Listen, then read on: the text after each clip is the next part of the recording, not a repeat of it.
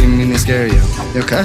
Give me the word, I'll just walk away. Do you ever feel like you're losing your mind? On a daily basis. All the time.